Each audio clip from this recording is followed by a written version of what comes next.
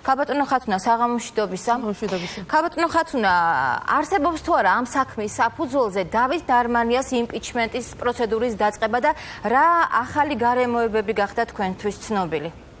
მოგესალმებით, მივესალმები მაყურებელს, განსაკუთრებით იმ ადამიანებს, ვისაც პირდაპირ შეეხო 13-14 ივნისის სტიქია და დღესაც მათ პასუხები არ აქვთ მიღებული არც მერიისგან, არც საკრებულოსგან და არავითარი კრიტერიუმის მიხედვით არ დაკმაყოფილდა არც ერთი მათი განცხადება და სხვადასხვა ბიუროკრატიული პასუხებით დღესაც არიან ისინი ქონების ანაზღაურების გარეშე. ჩვენ ამ კონკრეტულ შემთხვევაში, რაც ეხება ზუიად ნაზღაიძისთვის, მიწის ჩანაცვლებას და ფინანსურ ანაზღაურებას პირდაპირ კორუფციულ გარიგებასთან გვაქვს სწორედ საქმე და ამას მოწმობს რამდენიმე არგუმენტი. პირველი რაც ყველაზე მთავარია და მინდა ამით პასუხი გავსცე როგორც ბატონ ნარმანიას და ვიცემერს, ასევე ბატონ გიორგის პარლამენტიდან კუხიანიძეს რომელმაც აღნიშნა რომ ასეთი ანაზღაურება მოხდა ბევრი ამ ნაზღაიძესთან ერთად ბევრი სხვა დაზარალებულის და არაფერი განსაკუთრებული არ არის.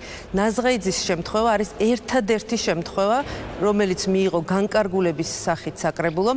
მერიის გადაწყვეტილებით ერთადერთი შემთხვევა გამონაკლისი როდესაც მერი საკრებულოს მიერ მიღებული წესის გვერდით ავლით წესზე გვერდის ავლით განსაკუთრებული შემთხვევით განსაკუთრებული მნიშვნელობის მქონე და გაშქარებული წესით ამ ადამიანს გადაეცა მიწა, რომელიც მოხვდა სტიქიურ ზონაში, მას არ ქონია პირდაპირ სარალი, არ ქონია არც შენობა, არც ნაგებობა ამ მიწაზე, ვერ ხვდებოდა იმ კრიტერიუმში, რითაც აუნაზღაურდა სარალი დაზარალებულებს და ამ წესის გვერდზე ავლით ესეთი გამონაკლისი დაუშვა მერიამ. ეს გამონაკლისი კიდევ ერთხელ მოწმობს, რომ საქმე გვაქვს პირდაპირ კორუფციულ გარიგებასთან, იმიტომ რომ თუ ამის შესაძლებლობა იყო და თუ ჩვენ ამ წესის წეს გვერდი აუარეთ, თუ ორგანული კანონი გამოვიყენეთ, თუ განსაკუთრებული ვითარება მოვარგეთ ამ სიტუაციას, რატომ არ შეიძლებოდა ასეთივე გამონაკლისის წესით დაგვეკმაყოფილებინა იმ ადამიანების ზარალი, მაგალითად, მაგალითებს გეტყვით, რამდენიმე განცხადება დღეს როგორც საკრებულოში, ისევ მერიაში. გელა კვაში მცილავა, რომელსაც დღესაც არ მიუღია პასუხი არც მერიისგან და არც საკრებულოსგან.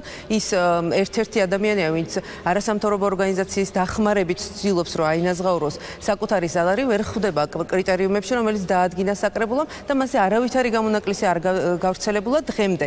როდესაც გვაქვს ესეთი გამონაკლისი, ეს პირდაპირ მოწმობს, რომ გვაქვს კორუფციულ გარიგებასთან საქმე. ამიტომ როდესაც პასუხს ვიღებთ როდესაც პასუხს ვიღებთ მერისგანს, რომ ეს არის ყველა კანონმდებლობის დაცვის იმ კრიტერიუმებით, რომელიც მიიღო საკრებულომ, კიდევ ერთხელ მოწმოს, რომ მას წარმოქმნა არ აქვს ამ კონკრეტულ საკითხზე, მან არ იცის, რომ ნაღზაიძის შემთხვევაში არავითარ კრიტერიუმების გათვალისწინებას ადგილი არ ქონია, წესი, რომელიც დაადგინა საკრებულომ, ის წესი არ იქნა გამოყენებული ნაღზაიძის შემთხვევაში და გამონაკლისის სახით განკარგულებით მერის გადაწყვეტილებით და მერე საკრებულოს განკარგულებით მას გადაეცა მილიონიანი ქონება. რატომ მიიღო ასეთი გადაწყვეტილება? შეგვიძლია თუ არა არა ვთქვათ, რომ ნაზღაიძის ოჯახისთვის ამ მილიონის გადაცემა ეს არის პირდაპირ კავშირშია. დაუშვათ რუსთავიორის საქმესთან და ეს არის ერთგვარი მადლობა ხელისუფლების მხრიდან რადგან ეს საკითხი რომლის კოლეგიუმაც ასეთი გადაწყვეტილება გამოიტანა ჩვენს დიახ რადგან ნაზღაიძის საკითხი ნაზღაიძისთვის მიწის გადაცემა არის ერთადერთი შემთხვევა ამ წელიწად ნახევრის განმავლობაში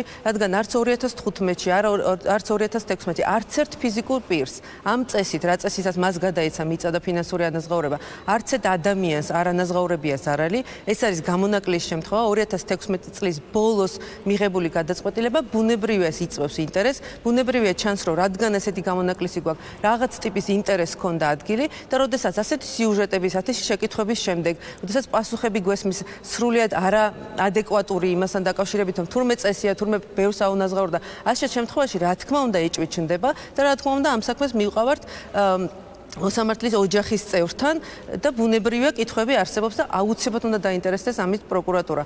ეს რომ ინტერესის სფერო არ ყოფილიყო, ეს ამით რომ დაინტერესებული არ ყოფილიყო ხელისუფლება, უკვე უნდა ყოფილიყო გამოძიება დაწყებული. ესეც ხომ ეჭვს აჩენს.